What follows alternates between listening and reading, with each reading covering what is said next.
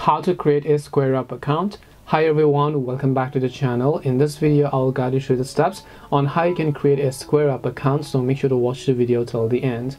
In order to sign up for SquareUp, all you have to do is simply open up your browser first, go to squareup.com and you're going to land on this page as you can see here. Once you're on squareup.com, you want to make sure to just click the sign up or the get started button that you can find from the top right hand side of the screen. Once you click on the get started option here it says we just simply create an email and password. So what I need to do is make sure to enter the email address confirm it. I can also use a password and I can choose a locality where my currently English is.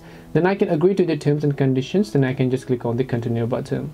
Once I've done that if your email is not verified then you'll be asked to verify your email. And, and if an account already exists with that email then it will just ask you to log into your account. So right over here you can see all these options what kind of business are you and so on. You can just click on the continue option and you can just select your business name make sure to enter your preferred phone number in this case. You can enter your employer identification number how many employees in this case and once you've done that you can enter the estimated annual revenue the address as well the city the zip code and everything else that you might might want to use over here. And then once you've done that you should be able to go ahead and then basically create your SquareUp account. This way you can create a SquareUp account. Hope this video was very helpful to you guys and if it did help you make sure to leave a like and subscribe to the channel if you have any questions then feel free to leave them down.